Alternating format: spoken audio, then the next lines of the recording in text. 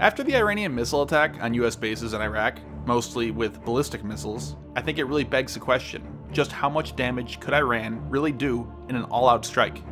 The attack on US bases involved less than two dozen missiles. It may sound like a lot, but it was very measured. We do not know the exact numbers, as Iran has been building these in secret, including some in underground bunkers, but it is likely to have around 1,000 ballistic missiles. These vary greatly in range, warhead size, and accuracy. Most of them are relatively short range, a few hundred kilometers, but due to the proximity of many major US bases to Iran, they are well within range. This proximity makes these bases very vulnerable to attack. Flight times of these missiles could be as short as 10 minutes, giving them very little time to react. So what can the US do to protect their forces? The most obvious might be to shoot them down. This is something the US has focused on for several decades now. Desert Storm in the early 90s was a major test of this new capability, and it didn't go very well. Again, the US faced ballistic missile attacks during the 2003 war with Iraq, and it did do a much better job at defending against them. The technology has really come a long way. The Patriot, the main weapon used to shoot down these missiles, has been upgraded numerous times, and now has a special missile, the PAC-3, to do just this. Despite these upgrades, defending against ballistic missile attacks is extremely, extremely difficult. They are flying at hypersonic speeds at extremely high altitudes, sometime reaching into space. Another weapon, THAAD, has been developed and deployed against larger, longer range ballistic missiles. It has not yet been proven in real combat, but in testing has performed well. But there are a few major downsides. Due to the speed and trajectory of ballistic missiles, you need to have your defenses in just the right position. Being even slightly out of place could make the interception impossible. Also is cost. Currently, according to the 2020 US defense budget, THAAD interceptor missiles cost $11.5 million each. More than one interceptor would also be fired at each target missile to better ensure success. And the ballistic missiles it's designed to defend against cost much less than that.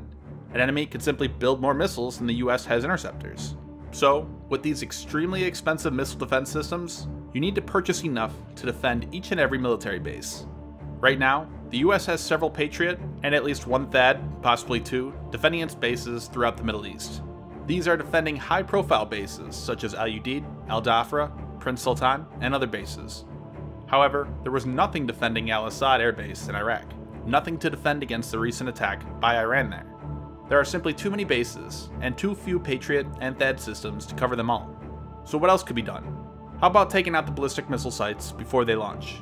Nearly all of Iran's ballistic missiles are either road mobile, meaning they can easily be moved around, launched from underground bases, or hidden in the terrain, popping out to fire. This makes a US preemptive strike extremely difficult. We can see several of these sites on places like Google Maps, and you can imagine US intelligence likely has a much more comprehensive map of these sites, so a strike on them could mitigate some of these missiles, but not all. It would really depend on how the battle starts. If the US had good reason to believe Iran was about to launch an all out strike, perhaps it would be able to take out 50% of these missiles before they did launch. So, what if you can't stop them? How bad would it be?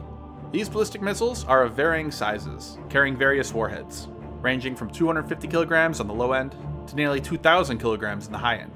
While that sounds powerful, it really is not when looking at the big picture. A 250 kilogram warhead has a blast radius around 100 meters, but in terms of actual destruction, it would destroy weaker structures like hangars within 30 meters, and stronger concrete structures within 10 meters. Also, no missile is 100% accurate, especially not ballistic missiles, which typically have no or very little terminal guidance ability to adjust the impact point. While newer Iranian weapons are pretty accurate, their CEP, a figure used to describe accuracy, is around 10 or more meters itself. A larger 2,000 kilogram warhead, carried by only the largest missiles, of which Iran has fewer numbers of, has a blast radius around 300 meters, destroying buildings within 100 meters or so. While the warhead is 8 times larger, it does not cover an area 8 times the size, as the point of detonation is still centralized. This is one of the reasons why many nuclear-armed ICBMs began to carry multiple warheads instead of one massive one, so it can spread out its destructive power over a larger area. But also, the larger missiles, with longer ranges and larger warheads, tend to be less accurate, with a CEP 100 meters or more. When looking at an airbase, one can see many structures spread out over a large area. This means accuracy is key. Also, there are so many targets to hit at an airbase, too many to completely destroy it. You have to prioritize. Do you want to put the base out of commission for a day or two as part of an invasion strategy? If so, you might want to hit runways and ramps. These, however, can be paved over and repaired pretty quickly. Maybe you want to make flight operations more difficult in the long run? Then you might choose to hit fuel and ammo depots. Or do you just want to go for maximum casualties and destruction of assets like aircraft? Then you hit hangars, barracks, parked aircraft, etc. If the US had enough advance notice it was about to be attacked, aircraft would be spread out or even evacuated from the base, and personnel moved to bunkers. This is what happened in the recent Iranian missile attack in Iraq.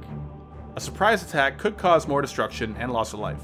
The US does have a pretty good, all encompassing, early warning system consisting of long range radars. This could give them a few minutes' notice before impact.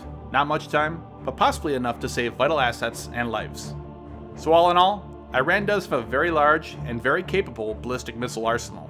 However, with the sheer number of US bases in the region, and the number of vital targets which would need to be hit at each one of those bases, also missile defense systems and early warning systems, the damage might not be as total as one would think.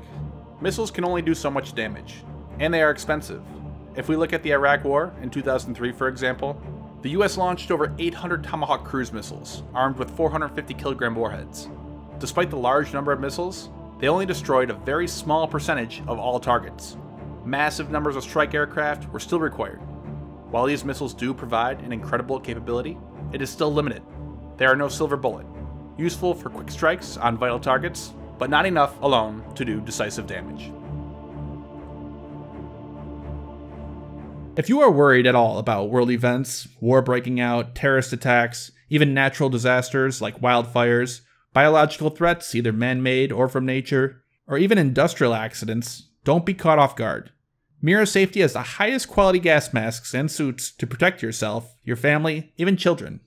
They are used by military, law enforcement, and industry professionals across the world.